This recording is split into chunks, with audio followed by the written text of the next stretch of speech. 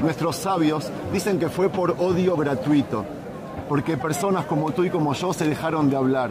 Sí. Nos debilitamos, vinieron los romanos, antes los babilonios, y nos mandaron al exilio. Nosotros sabemos que el templo se va a reconstruir no cuando venga alguien y ponga las piedras, sino cuando haya amor gratuito entre nosotros. Y, así, Hawasinam. y así nosotros empezamos, y este es el mensaje que yo quería transmitir. ¿Empezamos? Empecemos de una. Vamos. Ok, Joel, eh, como estaba diciendo, vamos a entrar a intentar caminar. A intentar caminar. Hoy la gente, na- no hay sillas aquí. ¿Dónde están todas las sillas? Como estamos en un día de duelo, hay unas costumbres en el duelo que son no sentarse en lugares altos. Esa es una. La segunda es que no decimos shalom. Precisamente por eso no saludé con la palabra shalom. No se, no se acostumbra. Hay otras señales de duelo, por ejemplo, el día de hoy no comemos, estamos ayunando, no tomamos ni una sola gota de agua durante 26 horas. Sí. Por ejemplo, aquí vemos muchas personas que están sentadas en el suelo o en sillas muy bajitas. Y de hecho, si miras allí, donde están las sillas generalmente están tapadas Sí. para, que no las, para que no las tomen. Eso es porque nosotros cuando hacemos duelo solimos sentarnos en el piso. Claro, ¿por qué? Porque el profeta, el profeta dice que es un día en el que se aflige nuestra alma. Sí. Entonces, afligir nuestra alma, a Jamín lo entienden como que son cosas que nos, que, que nos quitan la comodidad. Estoy viendo los calzados de las personas, también diferentes a los normales. hasta hace parte de las señales de duelo. No usamos zapatos de cuero.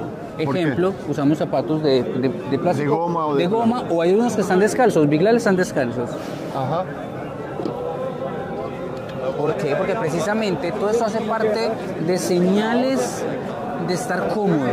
Entonces en este momento nos estamos desincomodando, recordando que, que, que el lugar más sagrado del pueblo de Israel, donde tenemos una conexión directa con el creador del universo y física y visible, no está. Mira, por ejemplo, aquí hay alguien con el descalzo. Sí.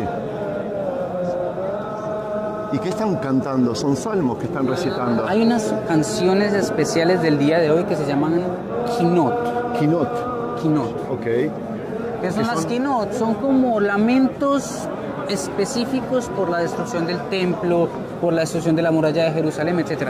Ah, interesante, mira, unos judíos etiopíos, Uy. de Etiopía. Pasado mañana viajo a Etiopía yo. Uh, ah, tenga- Sí, ¿Y ellos en qué, en qué idioma rezan? Ellos rezan en un idioma en un- típico de ellos, la verdad no sé el nombre del idioma. Amarit. no es en hebreo. Amarit. Estaba escuchando, aquí la gente está sentada en rondas por comunidades y cada uno con su entonación. Estaba escuchando a los yemenitas Claro. también que tienen un acento tan peculiar, tan teimanim, diferente. claro. Ven, Valga decir, los Temanim, ellos están en el exilio desde hace más que nosotros. ¿Por qué? Porque si muy bien la- el Santo Templo fue destruido hace 1955 años, ellos están en el exilio desde el primer templo, no desde el segundo, sino desde el primero.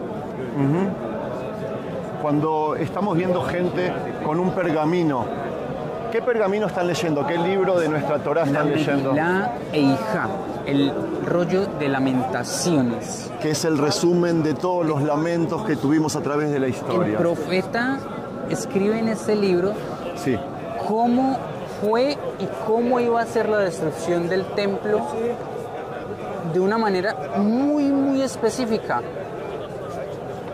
¿Por qué? ¿Por, por qué Hashem le dice eso al profeta? O sea, ¿cuál era la, idea?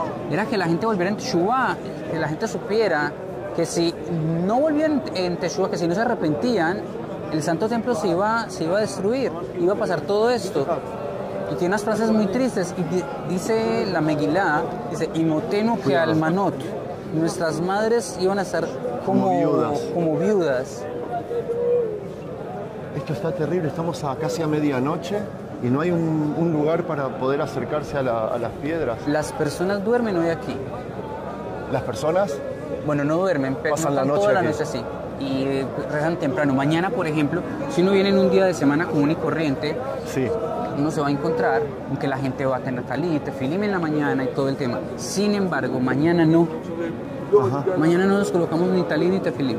¿Sabes lo que me gusta? Que estamos viendo todas las corrientes del judaísmo. Mira, en, un mismo, en una misma ronda vemos hasidimos, vemos, vemos ortodoxos, vemos un soldado, atrás una persona secular. Que es que ese es el tikkun. ¿Qué es significa tikkun? La corrección. Ahabat hinam, amor gratuito. Que no importa.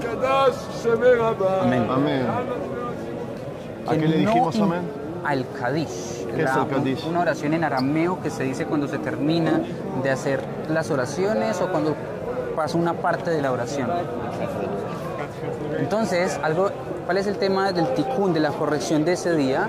Que la idea es que si por, si por tres pecados específicos se destruyó el templo, Sí. el primer templo, ¿cuánto nos tardó arreglar esos problemas? 70 años. El exilio de Babilonia. Ahorita, porque no podemos, con un solo problema, Sinat Hinam, odio gratuito, 1955 años? Entonces, parte de eso de sentarse, como, como bien lo decías, junto, no importa la corriente, no importa sefaradías, Kenazil, Itaí, no importa, Sí. es eso, es que ese problema que vemos de que es muy profundo en nosotros se pueda corregir. Entonces la pregunta es, ¿qué estamos haciendo nosotros para corregir eso? ¿Cuál sería la... ¿Estamos haciendo, colocando un granito de arena o estamos haciendo entonces un hueco más grande? ¿Y la Esa es- respuesta? No sabemos, es la- esa, es la, esa es la pregunta de hoy. ¿Qué estamos haciendo? Solamente sentarnos, ayunar, perfecto, eso está excelente. Pero eso nos tiene que llevar a una reintrospección. ¿Qué hago yo para reparar el templo? ¿Vengo y toda la noche? No, no funciona así. Dime, ¿es, es verdad que está prohibido estudiar Torah hoy? Hoy, sí, porque la Torah para nosotros es estudiar Torah es cómodo, Y es nos algo- trae alegría. Ah, ok. Hoy no, hoy no tenemos alegría precisamente porque no está la Casa Santa, no está el Betamigdash. ¿Es verdad que hoy no, no nos podemos bañar? No nos bañamos, no nos untamos cremas, a no ser que sea por salud. Hace un No tiempo que te vengo pidiendo que me lleves a, a un negocio, a una tienda que venden ropa hasídica y me dijiste que primero tiene que pasar Tisha B'Av el día de hoy. ¿Por Claro, qué? Esto- hoy, hoy es la culminación de un video que hicimos hace tres semanas, ¿te acuerdas? El 17 de Tamuz. Bueno, resulta que es que otra de las señales de duelo es que está- durante los 21 días que corresponden a las a los Beina Metzarim, que Sí. son los Beina Metzarim, los días entre las estrecheces, de Sí. donde sale el nombre precisamente de, de la Megilá, del libro de, de Lamentaciones. Una de las reglas de esos días es que no se compran ropa nueva, ni se estrenan cosas. Entonces, las tiendas generalmente de, ropa están cerradas por estos días precisamente. Ven, quiero llegar a la, a la gente.